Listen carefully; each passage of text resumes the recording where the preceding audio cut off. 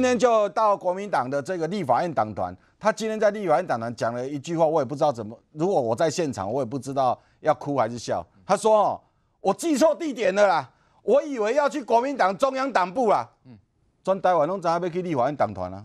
你好友你那讲要去中央党部，你跟我下车我才知道，哦，原来我记错地点。国民党迄个食便当食到食激动员呢，迄个便当是偌好食，今仔无食就出代志。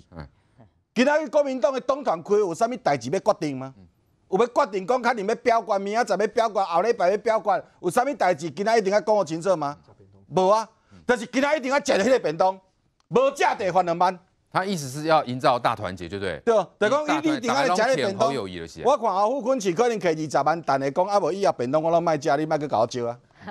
你为着我不来食便当，罚我两万，这有啥物意思吗？然后好友谊下午已经这个中午会见完，我们有听到侯友谊在那么多国民党的立委的前面讲出什么伟大的政策吗？没有，他还是在骂，跟我拍谁了，外国话怕扁，而且他骂的还比立法委员骂的还弱。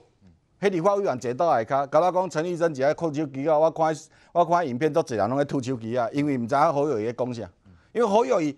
哎，侯友谊立马提名到现在嘛，两礼拜啊呢，到今仔日两礼拜啊呢，你还没有办法对着在制定国家政策、立法政策这些最时事最了解的立委面前讲一下，你有什么伟大的事情？因为有关门起来讲嘛，啊，关门起来讲，讲的重点重点嘛是爱有人出来转述讲，哎，搞到好友的一内底外搞都外搞哈，讲什么讲什么，那难怪他现在啊。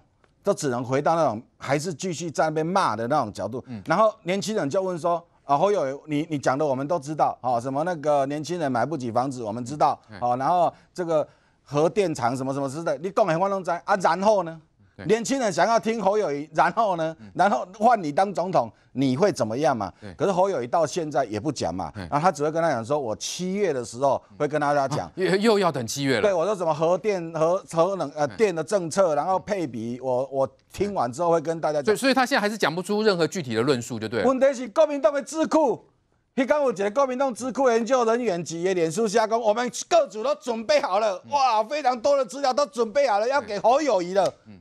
代表侯友谊应该能收到一下资料啊，那侯友谊为什么讲不出来呢？还是国民党智库没有全部交出来，只交表面说？因为应该有智库的人抄大几点书，抄大讲，我们各组都准备好了，就要全部提供给侯友谊了。嗯，啊，可是现在呢？现在侯友谊还是讲不出个所以然。他现在每天在外面讲的，我们真的听不出他在讲什么。给他一个点几条陈玉珍，你跟我等一下要跟陈玉珍握手，我也要跟陈雪生握手，因为马祖也很重要。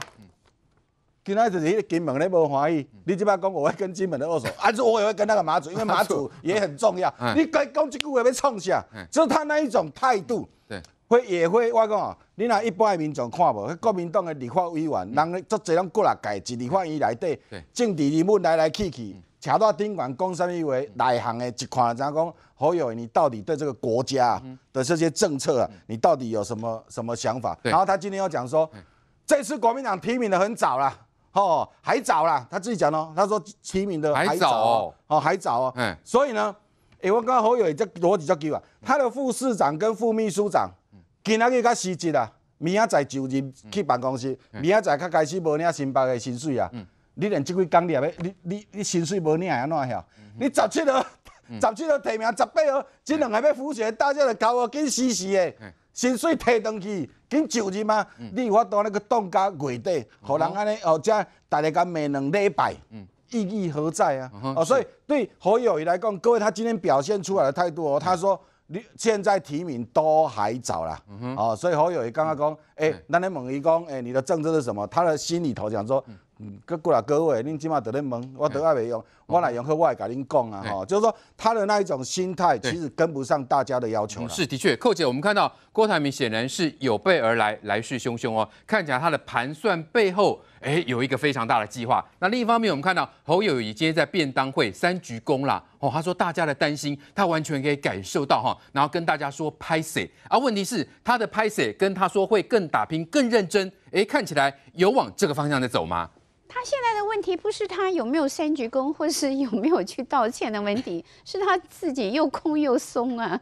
你这个啊，自己是空洞的，没有内容的，然后你自己的团队又是非常的松散的，然后你对选举的规划，对一个总统啊应该有的一个气质条件跟这个训练还有经验的累积，完全无视于他的严肃性，哎。到现在他还笑得出来呀！不过我刚才听那个，嗯，新北市议员这个伟山说，他觉得这几天，嗯，侯友谊看起来是有点，有点那个精神恍惚，发现不太对劲了。他发现状况已经严重了。可是他这个问题就是土石流，哎，侯友谊的状况是他补不回来了，他补不回来了。那柯文哲呢，其实也没有做好准备。柯文哲没有想到侯友谊会这么快的变老三，所以呢，他这么快的啊，这个要变成老二的时候呢，他没有准备好那个叫做成吉思汗的那个嗯郭台铭会动作这么的迅速来来并购他的民进党、民众党哎，所以他昨天晚上是有点惊吓到之后呢，是。手足无措，你就会看出这个家伙是吃嗯欺善怕恶，有没有？他平常欺负我们这些人欺负惯了。我们以前早年记不记得？我们在对我我们我们我们在节目骂他，还说我们拿钱，有没有？记不记得？又是绿营的侧翼，又是怎样？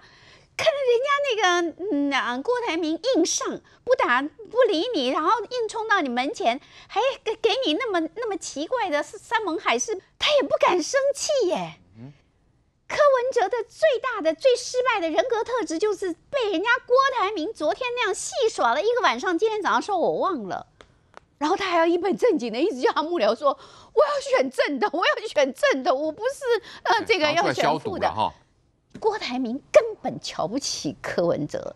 郭台铭交手的对象，对不起，是什么黄仁勋啊，这个啊，贾伯斯啊的这一代的人嘛，对不对？所以这个情况之下，今天他有点急啦。所以柯文哲今天又在金门，后来喊出一个要要要盖金厦大桥，然后说金门人啊，将来出国可以走厦门。金门人将来出国走厦门，那金门人就变中国厦门了吗？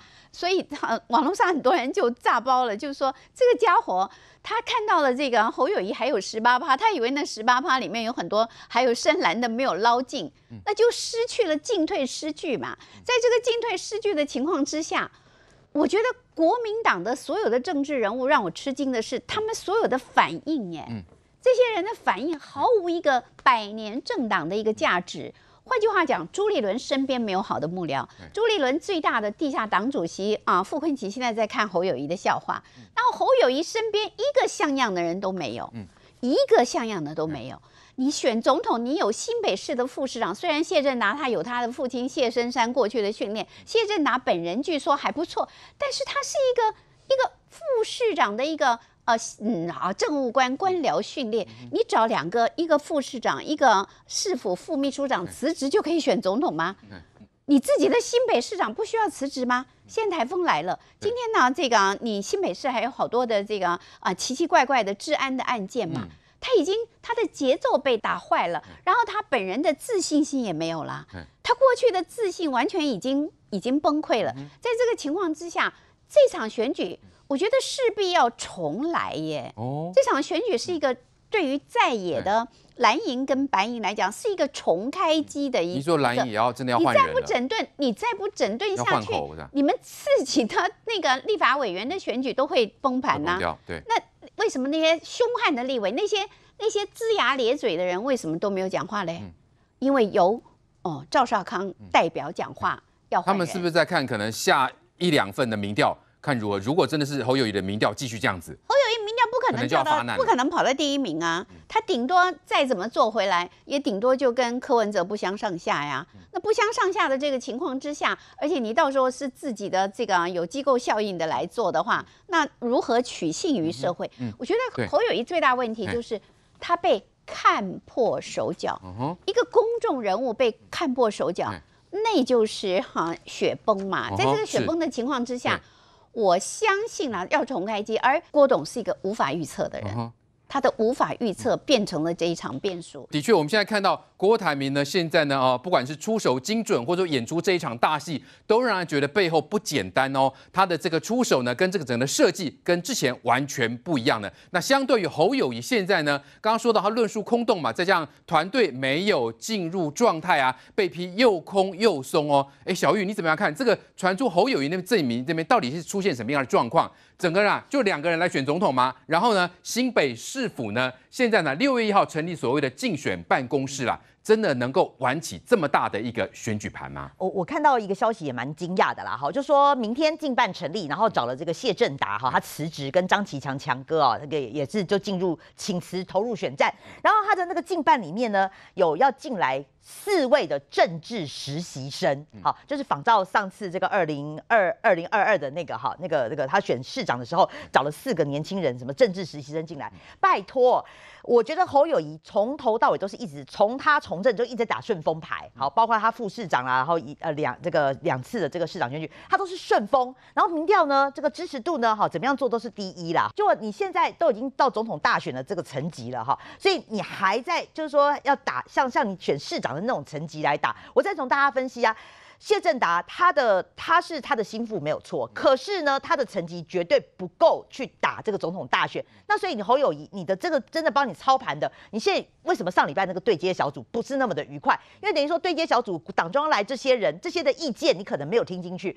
他们就是等于说呃侯办这边的人还是认为说以整合为主了。可是你整合的人，你你去看老马、管中敏、江宜桦，好，还去看陈冲这些人，说实在，你看这些人是干嘛呢？那那你真的该整合的，好，包括就是说韩国瑜，就我了解，最重要的韩国瑜、韩办那些人哦，告诉我说，到现在侯友谊都没有去找他们哦，所以你的诚意到底在哪？韩国瑜不是该你该最最该先整合的吗？脚步好像也太慢了。郭台铭要选总统，都知道赶快去找韩国瑜和解，你。不要以为只有郭台铭得罪韩国瑜，你上一次每次大家都要提这件事嘛？四年前你也是不接他的竞选总部主委啊，这件事情也是得罪韩粉啊。你最该整合韩国韩国瑜从国外回来的，你知道吗？连我都知道哎，所以韩，所以我今天才会听韩身边人在抱怨说，这个消息是韩国瑜旁边人跟我讲的，说侯友谊到现在还没去找韩国瑜。所以这个也是蛮奇怪的哈。那你说要整合郭台铭，坦白讲了哈，你第一天去找马英九的时候，你就应该拜托马英九帮你去找郭台铭了，因为马英九跟郭台铭非常的熟，而且郭台铭会听马英九的话。那坦白讲，你都已经见了马英九了，你就顺口说拜托马前总统，你可以帮我们这个安排一下。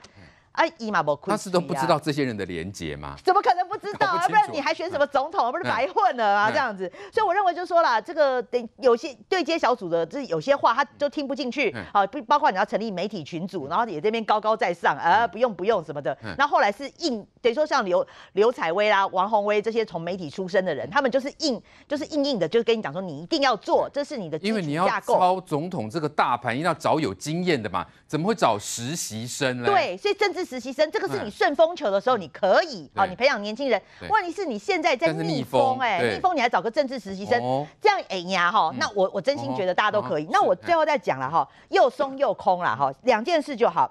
第一个，大家就不要讲核能嘛，就他今天早上又又再重申一遍了。他说他不是反对核能哦，只是说呢，因为核废料哈，他没有能力处理。啊，你不是废话吗？我当然也知道啊，大家都知道，大家都知道，就是核废料你大家没能力处理啊，所以你在讲什么他还说核能是他选项啊？对啊，那所以你要告诉我们核废料啊，然后再来呢，两岸论述，王金平讲的最对。王金平出来的时候跟大家怎么讲？他说他相信啊，侯友谊未来对两岸明确的讲法应该会更深思熟虑。嗯，王金平讲的这么含蓄，哎，就代表说他跟侯。友谊谈完之后，发现他的两岸论述是空的，所以还觉得说他未来会再更深思熟虑。王金平讲不出侯友谊两岸论述是什么嘛，所以他这个讲的非常的含蓄。最后要讲了哈。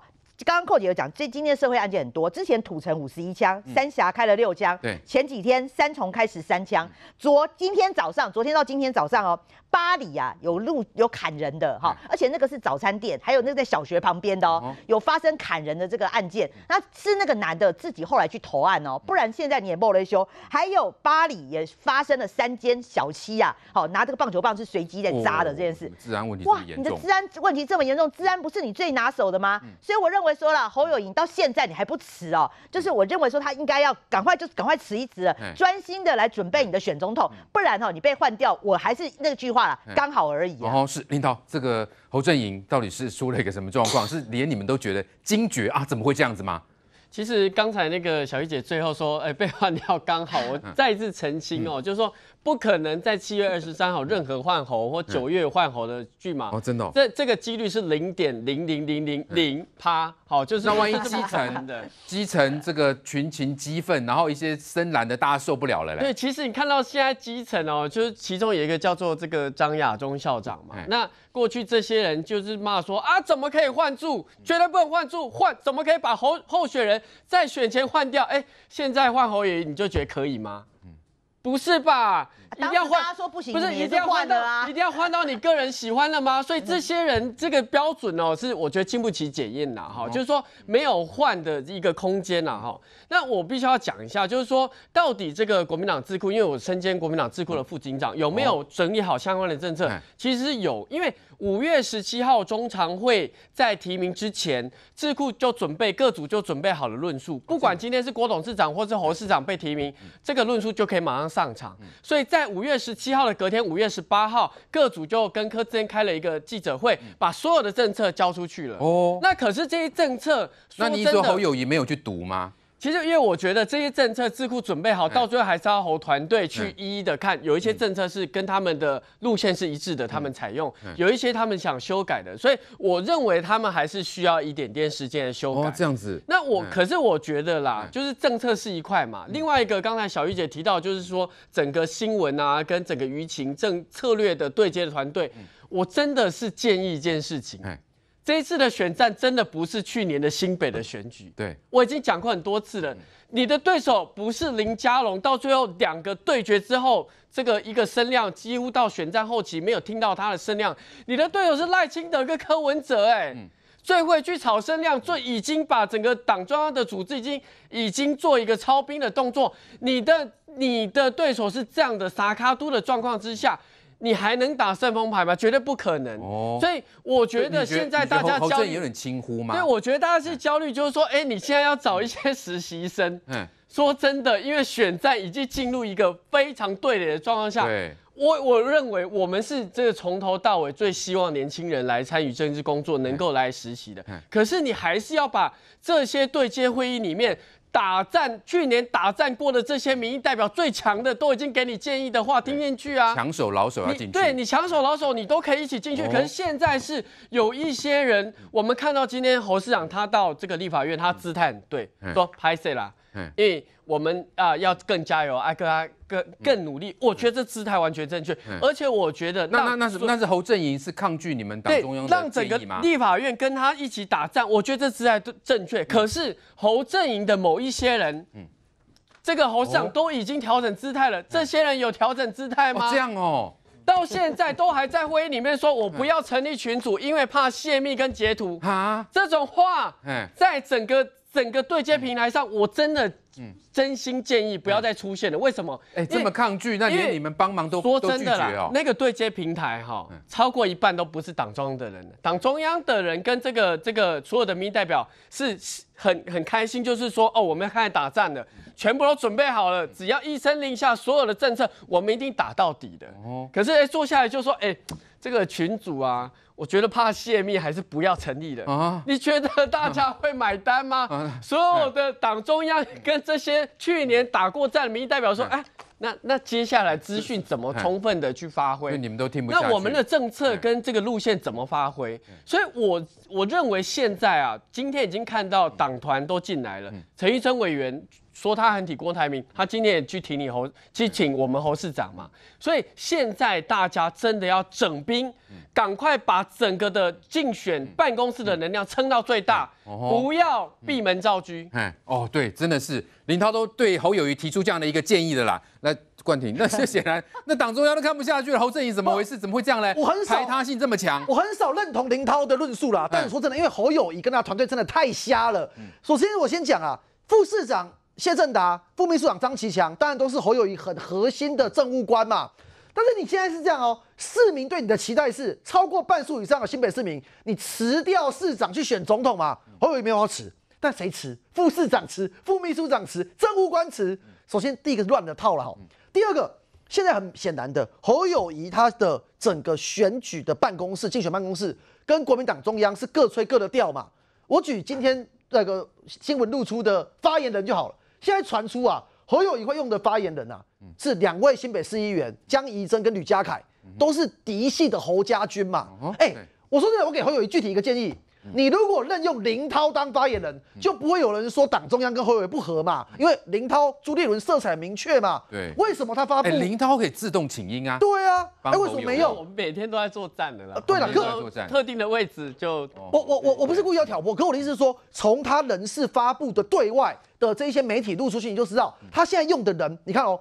核心到了选举的干部是谢正达、张启强，发言人是江宜珍、吕家凯嗯，这都是正统侯友谊自己的人马。这是叫得出名号了。啊！刚刚明玉说那个政治实习生。呃，，目前不知道是谁了，不知道哎不知道是听说是大学生还是研究生？啊大学生。对对对对就是年轻的朋友。哦，也不是不好啦，但我觉得很棒，愿意嗯勇于尝试，勇于创新。但是这个不是一个打总统规格的选举的状况嘛，嗯。所以。我说真的，我我很少认同林涛讲话，因为这个这个状况对我们民进党是好事啊。嗯没有侯友谊是主要，国民党是目前国内最主要的在野党嘛。嗯那你你今天民调一直往下，当然国民党内部会忧心嘛。嗯国民党会不会换侯？我先讲哦，中央哥，我跟很多民进党内的人的看法不一样，我认为最后不会换。不会换哦。可是他会持续淌血，淌血到最后是会一败涂地。为什么会这样讲？这一次跟八年前有个最大不一样。八年前当时的洪秀柱对蔡英文，没有柯文哲在那里，所以洪秀柱跟蔡英文状况底下，他的民调往下掉，在各地方七十几个立委选区的立委会一面倒的崩盘。所以在八年前是由下而上，所有要选立委的国民党的这些立委参选人认为说，我不能让你再选下去了。可是现在国民党，我认为更惨。为什么我说不换？可是国民党状况更惨。中阳哥现在很像是那个弓箭啊，射到人的身体里面去之后有倒钩，如果你换喉拔出来，会流血过多致死。可是现阶段是这个倒钩在里面，它一直渗血哦。这个这个伤会在那，为什么会这样讲？因为现阶段柯文哲在七十几个地方选区提不出像样的候选人，哦吼，所以在绝大多数立委选区，还是只有民进党候选人跟国民党候选人。可是，在中央是有三个候选人。三个候选人状况底下，这一些国民党的立委参选人在想什么？他们在想的事情是，反正侯友谊不用换啊。柯文哲的民调跟侯友谊谁是第二、第三，对我来讲没影响，因为柯文哲很大一部分支持者，嗯。还是蓝营的人嘛嗯，所以不会根本性的影响到国民党的立委的盘。所以这一次跟八年前最大不一样是，立委们其实都知道侯友谊可能选不赢嗯，可是不会给党中央很大压力去换掉侯友谊哦你。觉得不会换侯的？我我我目前哦。目前为止是这样。哎，不会换所以柯侯友回到侯友谊，今天他跑去立法院去拜会，是去干嘛？是去毁去毁下面，在他跟郭台铭的对战当中，不是只有陈玉珍一个立委或参选人嗯表达支持郭台铭，是十三个。那今天吃这个便当会，其实说真的，这些立委，我认为也没有给他很有面子啊。陈玉珍去的讲法可以讲两句好话啊。陈玉珍没有讲，他说因为是假动、假级动员，对所以是应该的。然后呢，谢依凤哦出来讲说这不是挺侯宴，而是沟通会。嗯，哎，说真的，你这个场合讲挺侯宴有这么难吗？最后一个我要讲，今天呢，侯友谊真的很怪。刚刚那个林涛讲说说哦，他有讲拍谁啊，会更努力、更特呃更认真啊。但你知道他们对外释放的新闻的讲法写什么吗？他们写说侯友谊三度鞠躬致谢，致谢啊，致谢不是致歉哦。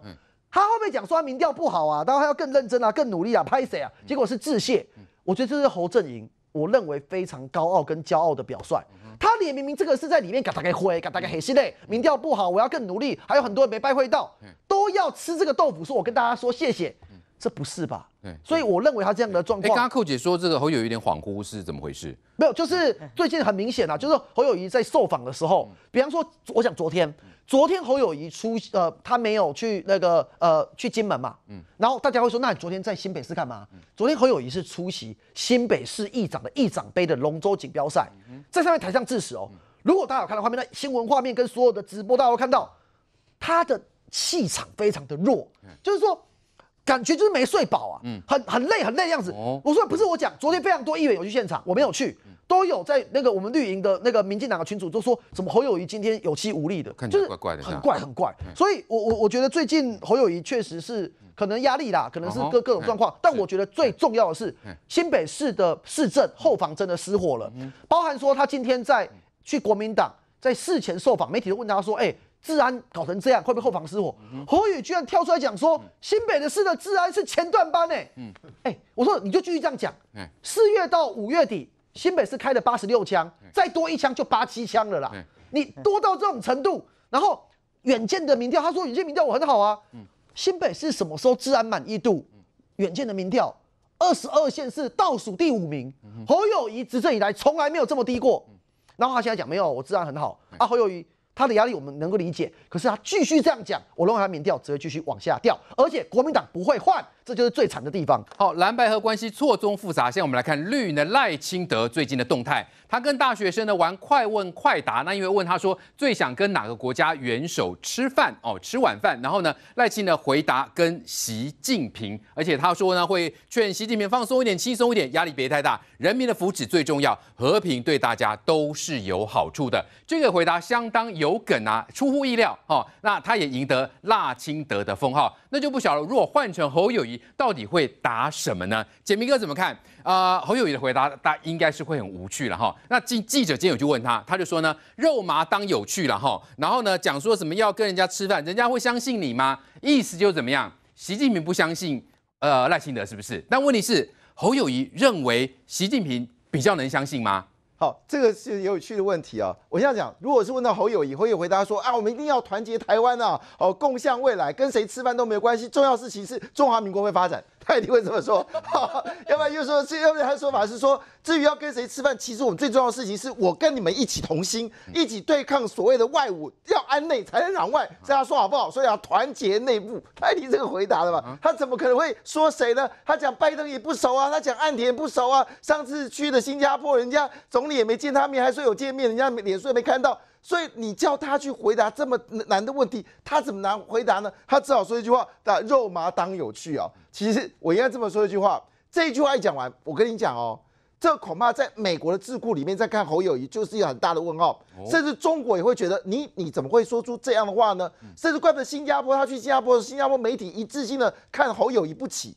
因为为什么会说这句话？为什么说这个肉麻当有这件事情会变得很糟糕？因为拜登也想见习近平，嗯哼全世界跟中国在竞争的国家也是要跟习近平见面，因为我们虽然跟你是敌对的，但是我们还是要坐下来谈，避免冒出这个擦出火花。这本来就是一个国家元首应该做的事情，这第一点。第二点，在看在郭台铭的眼里面，也觉得搞笑。为什么呢？郭台铭说一句话：大家一起把金门当做一个谈判的地方，双方元首到金门来谈。哎，你竟然会说这句话叫肉麻当有趣，所以我这么讲啊，其实有这个国民党内部有提到侯友谊哦，这句话说的真好，正确的废话，平淡无味，口条流利，只是只会讲古。他对现在就是最近这十年所发生的事情，他是一片空白。怪不得蔡正元说的这句话，他就是一个缺乏记忆体，而记忆点，而且是一张白纸。好，我们就回到赖清德。其实赖清德在这次的这个台大的这个演讲，其实超乎大家预期的这个好，尤其是他的回应部分是直接说结呃直截了当。那我们要问一个问题是说，像这样快问快答，其实背后并不是你单纯问他一个问题要回答，而是他在过去已经了解整个时事的状况、财经的变化以及国际间的这些轨迹，他才能够快问快答。对，但是如果今天换换成侯友，人家都已经把智库资料都给你了，你你还没有消化，你这怎么敢敢去台大政治？就快问快答，你要有意义啊，不是无厘头、哦。对，不是无厘头哎，因为这个里面有背后你的内涵。那我就问一件事：侯友谊有内涵吗？当侯友谊讲肉麻当有趣的时候，他就自觉于自己是将来可能会拼中华民国的元首，就像他现在自觉于新北市。对你看他讲治安。好多枪枪这个枪支泛滥，他讲这个所谓建筑最夸张的是公共建设，连一条小桥都会崩裂。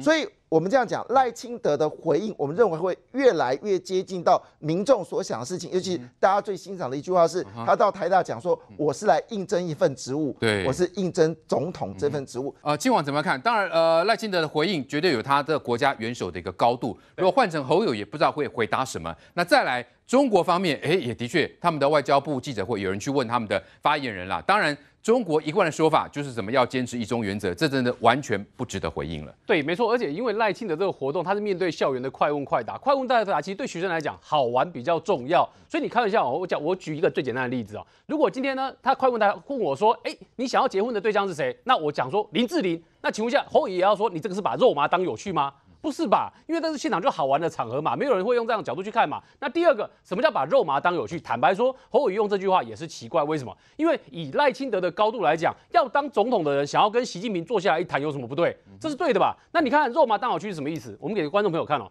肉麻当有趣的意思是什么？肉麻当有趣是比喻去欣赏一些无聊的事情。那我请问一下，想跟习近平坐下来好好谈一谈是无聊的事情吗？不是哦，不是吧？对，所以你看，赖清德是要表达和平的重要性，对大家都有好处啊。所以，对不对？侯友谊连肉麻当有趣这一句话，他也是空的，也是搞不清楚。你这是非常的明显嘛？所以你真的认真去看肉麻当有趣的意思是去欣赏无聊的事情。跟习近平如果有机会可以一谈，那这件事怎么会是无聊的事情？这是有意义的事情嘛？然后第二个，你再去看一件事情，这个侯伟去讲说，人家会相信你吗？人家相不相信你不是重点，而是你就是能够表达出一个那个你自己想要的意思在里面嘛。要不然国民党不是整天在喊说，民进党干嘛不跟对岸去谈？他现在都会跟你讲说，想跟对岸坐下来谈的，那你也有意见说他肉麻当有趣，那你到底希望怎么样才好？所以侯伟讲这一句话，我认为啦，侯伟其实哦，坦白说，他这个肉麻当有趣这一句话呢，是他最近呢真的是心慌意乱啊。他最近真的是没有话可以讲了，之后丢了一句话出来，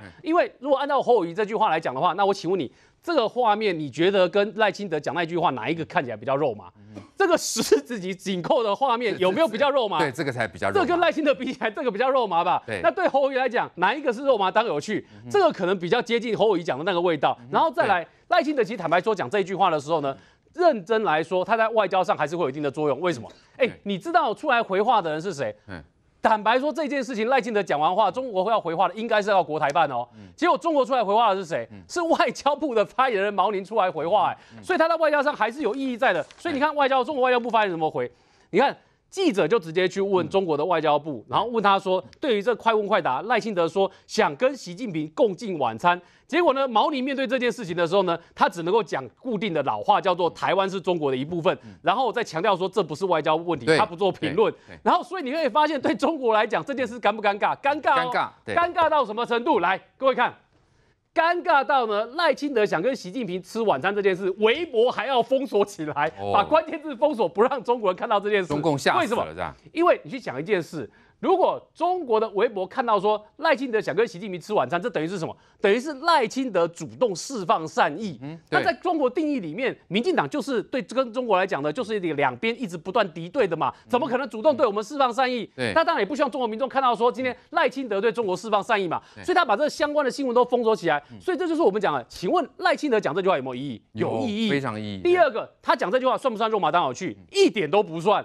所以这就是为什么你从里面反而看到是什么？对你反而看到的是。侯友谊在面对这场选举的时候，因为他的民调真的掉太多了，他在心急之下呢，只能选择用这种方式来讲话。但很明显的，他的话的用词呢是越讲越错。是的确，一川兄这个怎么看？赖清德的回应其实不只是有趣而已，而且还表达了台湾的尊严跟国格。这是代表台湾的领袖跟习近平哦要去吃晚饭，而且呢还要维护两岸的和平。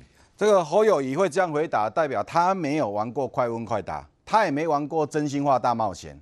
他不知道那些答案基本上很多都是搞笑的，譬如说问说你你这个初吻的时候几岁，然后你回一下说我回去问我老婆我们什么时候认识的，或回说小学，这种就是学生就觉得好笑而已。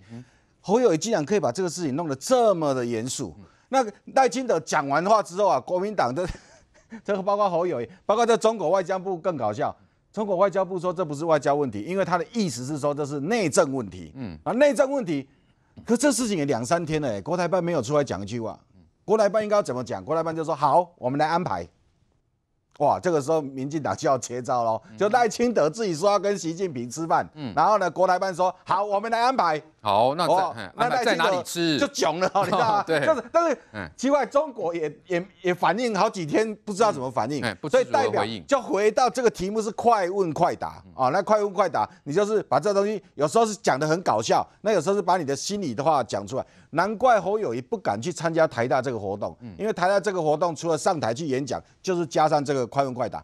我们都当过候选人的幕僚，很多媒体要求来做快问快答的时候，我们都会很紧张哎，我们会说，老板那个他问你，你是没办法反应，你要直接反应的哎，他说不用怕，就来吧，就就说你只要很真诚的去玩这个游戏啊，去玩这个对话，那基本上呢，连你就在想，比如说赖清德这个影片里头还有离线中，哎，不知道问他什么问题，在问他怎么打工的事情的时候，那个那个画面叫离线中，就是就是赖清德还在想嘛，就这个就就出现那个离线中，那这也很好笑啊，就是说